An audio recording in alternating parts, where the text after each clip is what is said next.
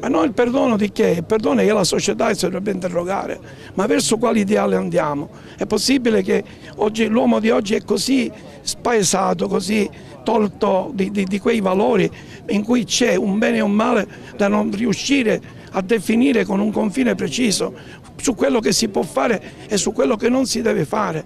Non uccidere, dice il Signore, non uccidere.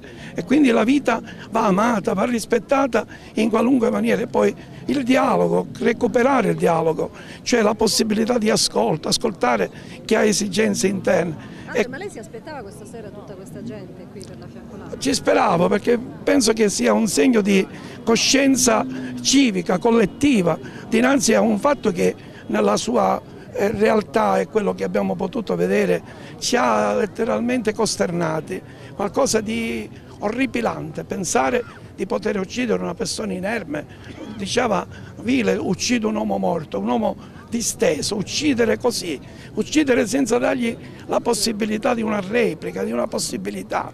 Ecco, è il senso dell'idiozia più assurda, della, de, de, del, del, niente, ecco, dietro gli occhi niente.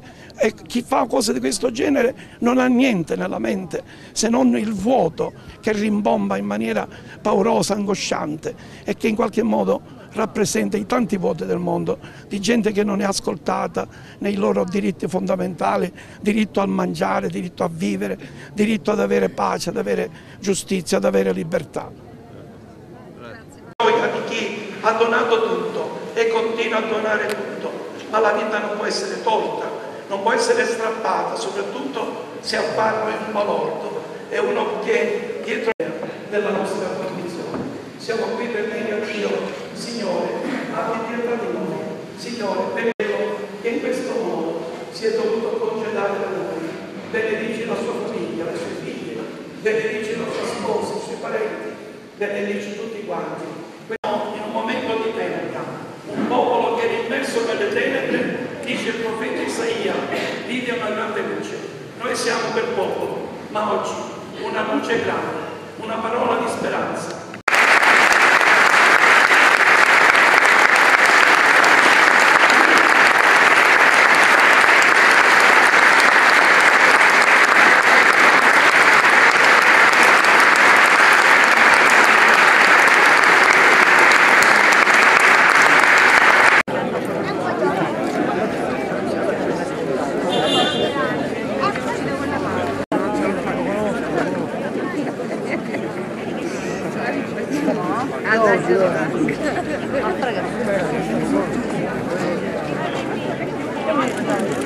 Andiamo alla ripresa.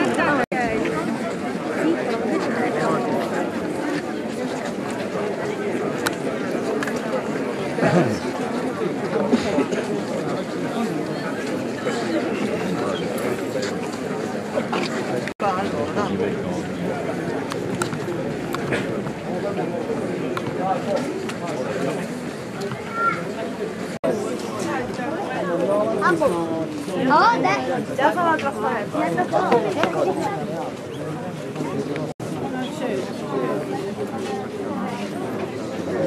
mi danno poco per strada.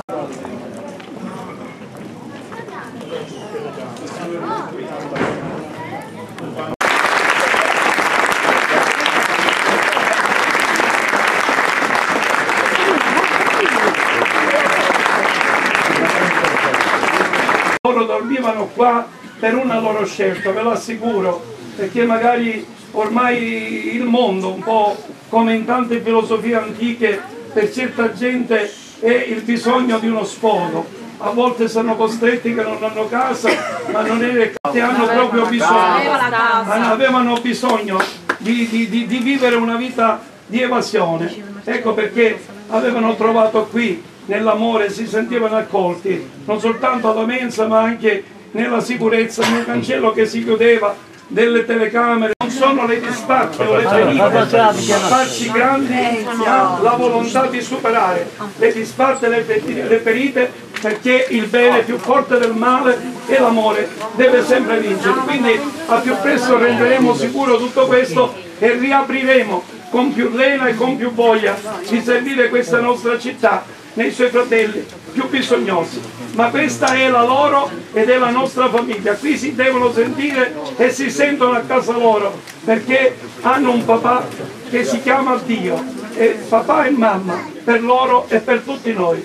Grazie Marcello, rimarrà un bel ricordo di te al di là di quello che è stata questa vicenda che come una, una, una piaga ci porteremo dentro come un ricordo, come un incubo, che non vorremmo dimenticare solo per ricordarti e per dire che sei stata una persona buona e anche per tutti noi di grande aiuto.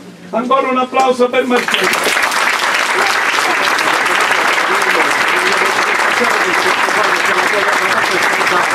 Facciamo